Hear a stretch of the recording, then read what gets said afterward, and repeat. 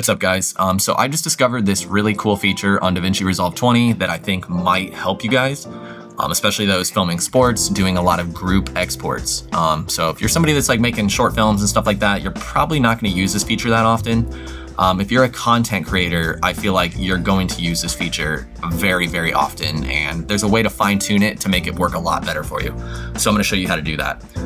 Part of my workflow is that I will cut out and name the whole game by player.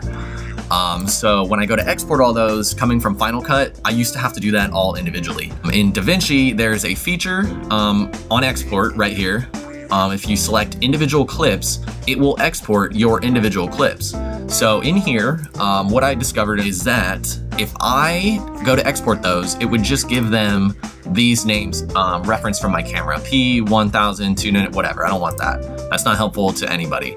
And I've already done all this work naming each um, clip by player. So um, you're gonna type in a percentage and that will basically, um, these are all, these are all meta, these are all metadata. So if you wanted to export by clip number, LUT number, embedded audio, like look at all these things that you could you could export by your color chart, your track number. Like this is insane. This is like, this is super pro.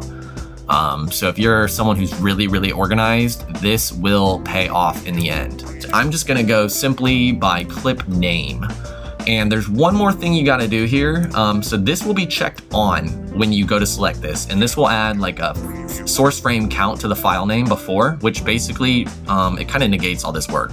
It would just basically throw a bunch of random numbers and then the clip name. I don't really want that on there, so I'm gonna take it off. I'm gonna hit add to render queue. Um, I've got an example folder set up and I'm gonna hit render all. And what it's gonna do is drop them all in there, organized by the name I have it and cut to where I cut it.